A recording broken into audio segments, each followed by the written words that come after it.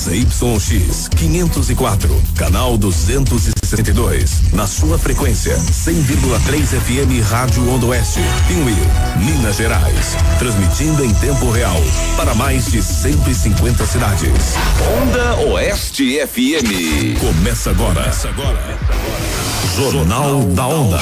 As notícias de Piuí, da região, do Brasil e do mundo. Jornal da Onda. Informação e prestação de serviço. No ar. Jornal da Onda. 8 horas 29 minutos.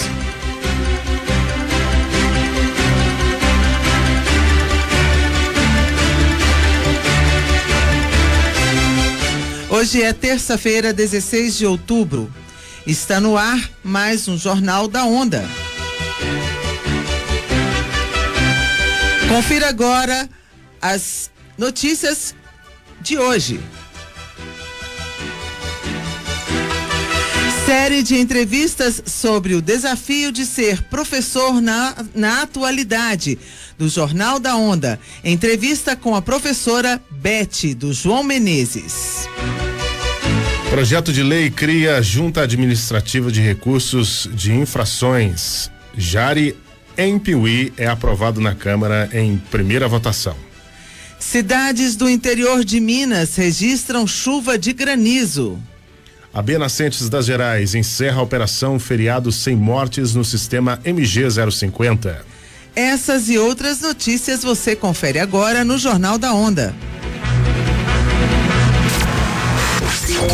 Participe do jornalismo da Odoeste FM, mandando sua sugestão, flagrante, foto ou vídeo para o departamento de jornalismo pelo WhatsApp, WhatsApp 37 9816 1003.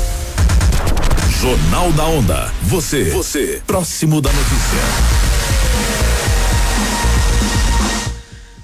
Bom dia, Roseli Amorim. Bom dia a todos os ouvintes. Bom dia, Jonathan Tavares. Bom dia a todos vocês que nos acompanham no Jornal da Onda que começa agora, 8 horas 31 minutos.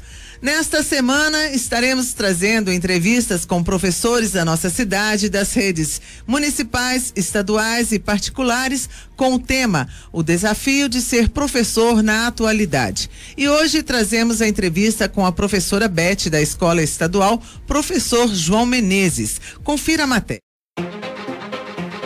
Começa agora a sessão de entrevistas sobre o desafio de ser professor na atualidade.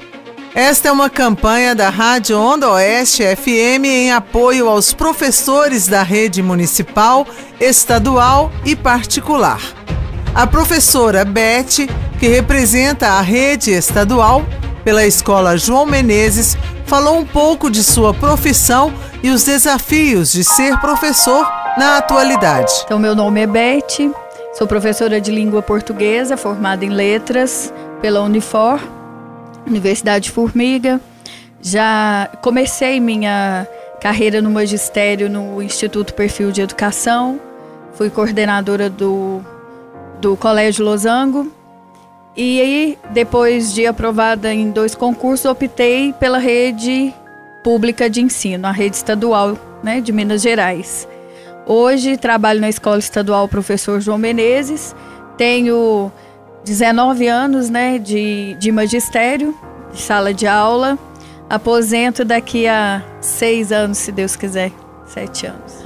Olha, é, realmente esse é um, uma realidade nossa, né? Essa revolução midiática e que a gente tem que acompanhar, a gente tem que saber acompanhar. Não adianta a gente querer é, trabalhar nos moldes de antigamente, do ano em que eu comecei a lecionar, porque a diferença é muito grande, os tempos evoluem, e graças a Deus que evoluem, né? Muita coisa mudou, melhorou. Mas tem o lado ruim, às vezes, dessas mídias, dessas redes sociais, quando mal utilizadas. Eu acho que, como você disse, é um desafio grande para nós, como educadores, mas ao mesmo tempo nós temos como aliar esse, essa tecnologia ao nosso trabalho. né?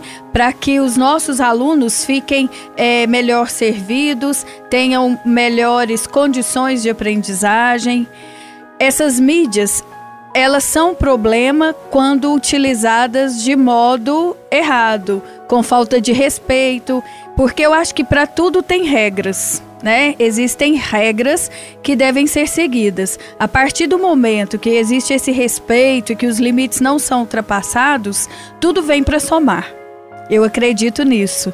E posso dizer que, graças a Deus, não tenho problemas e consigo, na medida do possível, aliar essas mídias no dia a dia com meus alunos. Em uma de suas pontuações, Beth disse sobre o comportamento dos alunos. Eu não vou assim mentir porque o que a gente vive realmente é, é totalmente o oposto do que era no meu tempo, no seu, né, dentro de uma sala de aula. Os alunos hoje, eles são mais informados, eles têm mais assim uma capacidade mais crítica do que a nossa. Eles não aceitam qualquer coisa de qualquer jeito. Então, essa é, essa realidade que a gente enfrenta hoje com os alunos, às vezes ela se torna problemática para o professor. Existem alunos que nos desrespeitam, né, que nos desafiam mais que os outros, existem. Mas, assim, graças a Deus, esses que têm esses tipos de comportamento é, são minoria. Nós temos é, grande parte hoje dos nossos alunos são alunos muito bons, comprometidos, focados em fazer o Enem, em dar sequência numa carreira, ter uma formação, né? Agora, com esses alunos é, que nos desafiam mais no cotidiano, a gente procura lidar assim com parcerias, às vezes procurando o conselho tutelar, com a polícia militar, com a promotoria da cidade, né, e com o próprio colegiado da escola, porque a escola ela tem um colegiado que é, rege, né, toda a, a, direciona a escola nesse sentido. E também assim, a gente tem que entender que nós precisamos também a escola hoje ela precisa muito dos pais. Então, essa relação professor-aluno, escola-aluno é, e família-escola, ela é muito importante. Sem o apoio aí da família, né, e os professores também, é, todos juntos, engajados, a gente não consegue fazer muita coisa. Então, a partir do momento que você fecha essas parcerias e consegue é, trabalhar junto, aí sim. Aí, quando você tem uma família que apoia, os pais que estão ali do lado da escola, verdadeiramente melhora bastante. Na profissão, Beth nos contou ainda sobre a condição de trabalho. O nosso trabalho, hoje, ele exige assim, que nós tenhamos a nossa, ao, ao nosso dispor, como você disse, as mídias, né? Ah, materiais que façam com que o aluno sinta interesse pelas aulas. Então, assim, a nossa escola hoje ela procura se, se adaptar ao máximo, né? E trazer essas tecnologias para para dentro da sala de aula, oferecer isso para os nossos alunos, mesmo que não seja da forma como gostaríamos que fosse. Ainda estamos assim longe do ideal, mas é, para o que a gente tinha já é um grande avanço, né? Então, as nossas condições hoje, eu digo que nós temos assim boas condições de trabalho, sim.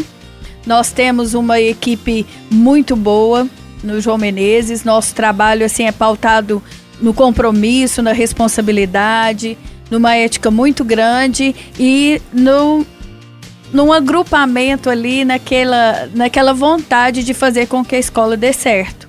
É claro que a gente enfrenta problemas, tanto é, com os alunos, né? Conosco mesmo, às vezes, porque nós somos ser, seres humanos e nem todos os dias nós estamos bem. Isso é do ser humano. Então, é, isso também faz parte dessa nossa rotina, mas as nossas condições, a gente procura sim fazer com que sempre tenhamos o melhor para os alunos, né? Para que eles tenham assim uma, uma boa aprendizagem. Embora a gente perceba que muitos não aproveitem a oportunidade que tem. Mas a escola hoje, a escola pública hoje, de uma maneira geral, que eu vejo aqui em Piuí, trabalhei na cidade de Capitólio, tenho amigos que trabalham também nas cidades vizinhas, é, a gente vê que as condições melhoraram muito, né? Que a escola procura ofertar cada vez mais assim condições para que o aluno possa competir, né, no Enem. Sobre um outro ponto polêmico, a professora nos disse sobre a questão da remuneração do professor. Olha, Roseli, essa questão é, é assim, é complicada de dizer, porque dizer que nós somos valorizados, não, nós não somos, né? Então, nós temos uma jornada hoje de 16 aulas obrigatórias, mais é, horários extra classe, carga horária extra, extra classe cumprida na escola e mais carga horária extra, é, extra classe que a gente tem que cumprir em casa. Então, é, dizer que hoje nós ganhamos o que realmente é, mereceríamos não seria verdadeiro. Eu acho que o professor realmente é, se tornou um lugar comum, se tornou assim, chover no molhado essa valorização do professor. Mas realmente a gente tem que bater nessa tecla, porque eu acho que falta muito é, essa parte para nós, sabe? Nosso salário nos últimos quatro anos, ele, ele realmente assim deu uma, uma levantada, né? Nós vimos aí que dentro de quatro anos a gente teve um pouquinho mais de valor e nós pudemos assim voltar com o nosso plano de carreira que nos tinha sido tirado.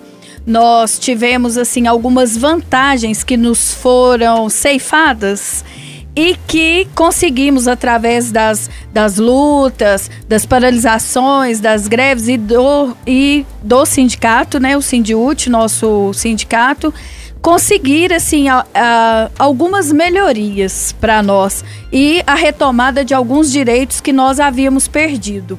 Mas nós ainda estamos longe assim do que seria ideal pela nossa profissão.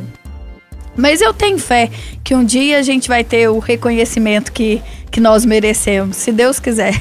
Encerrando esta primeira sessão de uma série de entrevistas ao longo desta semana, Beth agradeceu a emissora. Muito obrigada, Roseli, pelo convite. Muito obrigada à Onda Oeste, Jonathan, muito obrigada.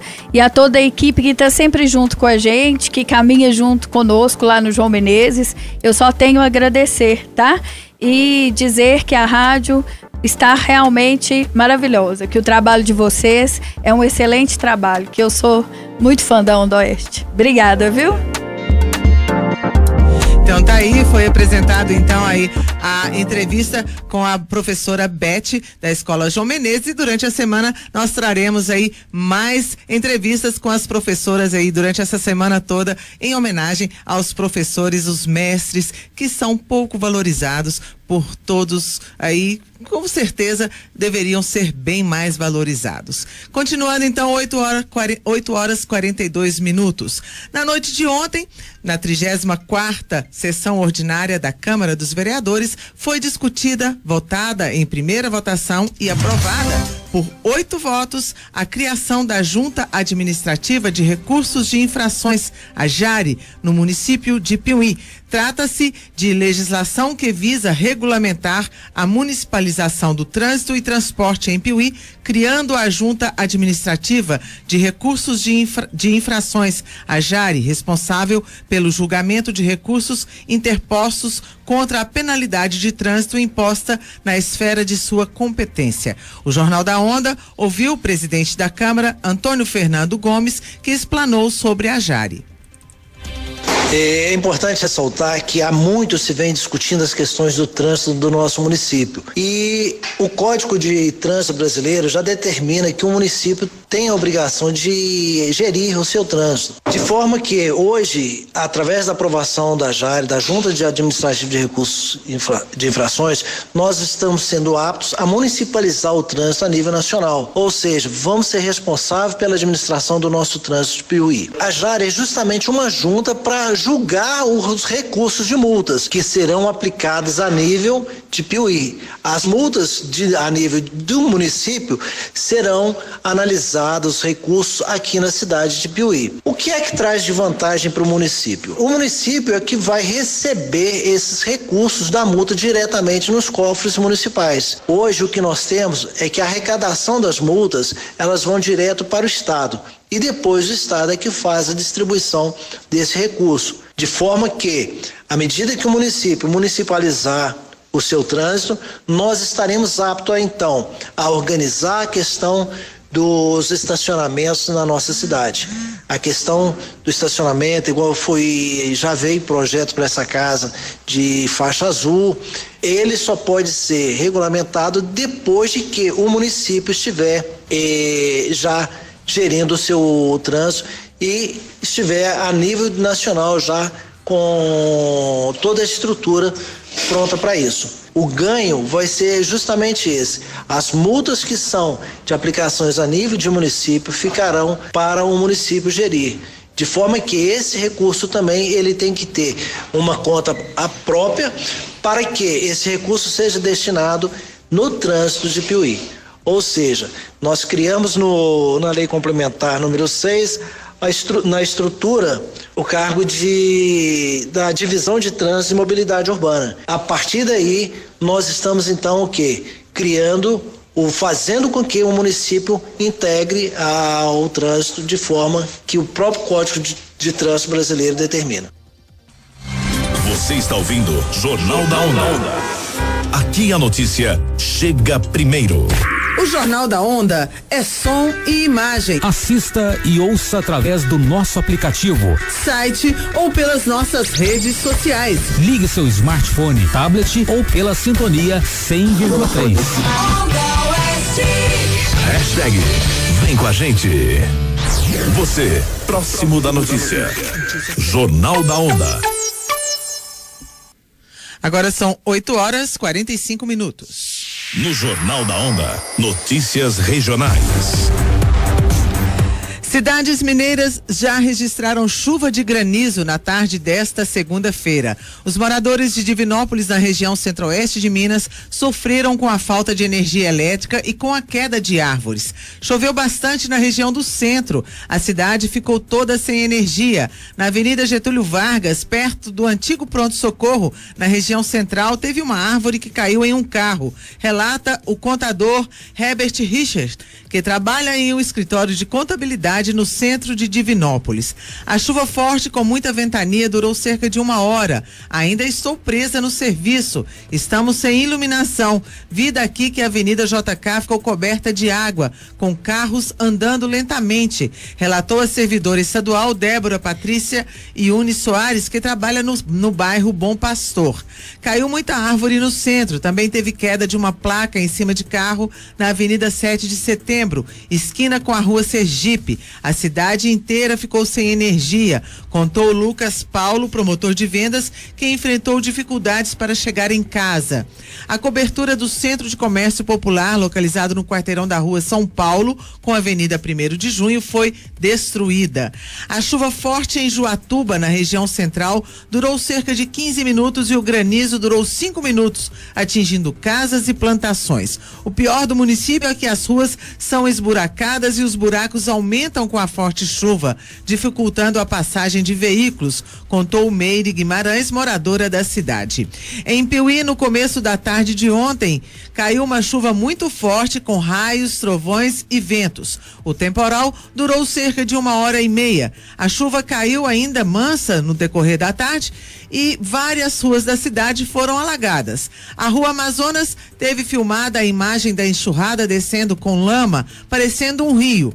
Como a grama foi retirada para ser feita terraplanagem para um loteamento no comecinho da, da rua Amazonas, então desceu muita terra. Mas o departamento de limpeza da prefeitura, em meia hora já esteve na ponte da rua Amazonas e limpou toda a lama que ficou acumulada, liberando assim o local para o tráfego.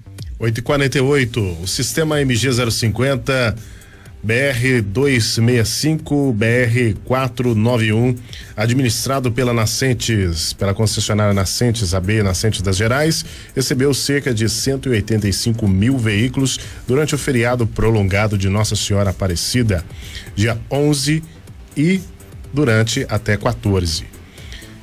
Esses quatro dias do feriado foram registrados 16 acidentes com 24 vítimas feridas. Não houve vítimas fatais.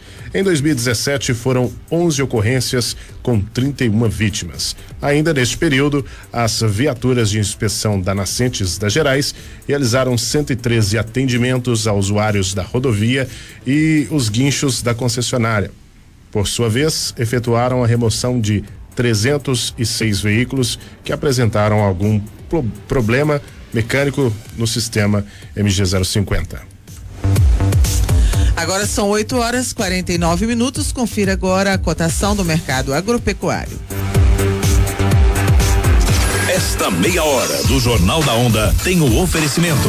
AP Agrícola, 29 anos atuando no mercado. AP Agrícola, ajudando sempre a colher os melhores resultados. Jornal da Onda. Você, você, próximo da notícia. Você está ouvindo Jornal da Onda. Aqui a notícia chega primeiro. Acompanhe agora a cotação do mercado agropecuário no oferecimento de AP Agrícola. A saca de café arábica, bebida dura 60 quilos, é cotada em Varginha a 430 reais. A saca de milho 60 quilos é vendida em Buritis a 35 e 34. O feijão carioquinha é cotado em Avaré, São Paulo a 102,58. A arroba do boi gordo é cotado em Araxá a 144 reais. As informações são do site AgroLink.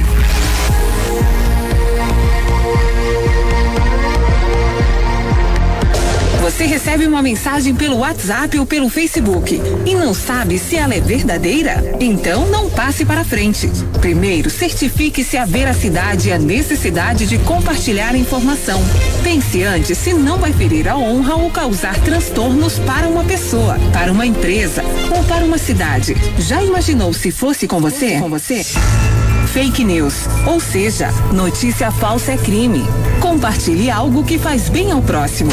Uma campanha da Rádio Onda Oeste. Onda Oeste FM. Cobertura especial das eleições 2018.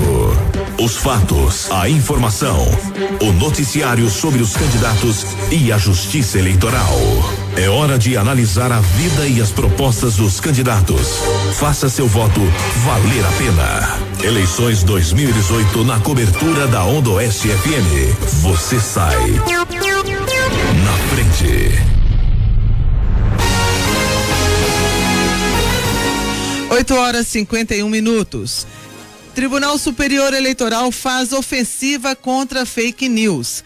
A guerra das fake news nas redes sociais levou a presidente do Tribunal Superior Eleitoral, Rosa Weber, a convocar reunião para hoje com os coordenadores de campanha dos presidenciáveis Jair Bolsonaro, PSL, e Fernando Haddad, do PT. O objetivo do encontro é formalizar um pacto para combater fake news no segundo turno. Haddad já propôs acordo, mas Bolsonaro se manifestou nas redes sociais contra a proposta. O tribunal decidiu reforçar o cerco às notícias falsas, colocando três servidores da área técnica dentro do Centro Integrado de Comando e Controle Nacional, que monitora a segurança das eleições em Brasília. Eles vão ajudar a Polícia Federal a identificar fake news e agir com maior rapidez contra os autores, mas a eventual remoção das fake news da internet continuará dependendo de ações judiciais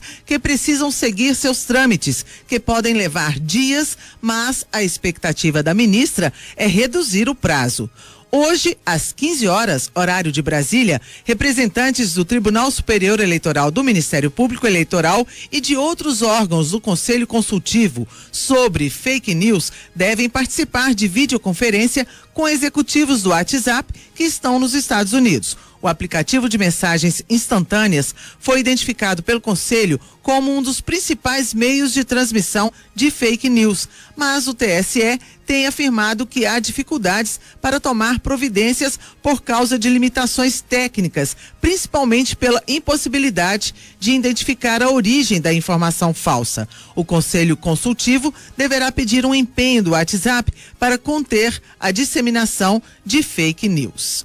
E agora você fica fica com a previsão do tempo. Com a previsão do tempo com Jonathan Tavares. Eleições 2018.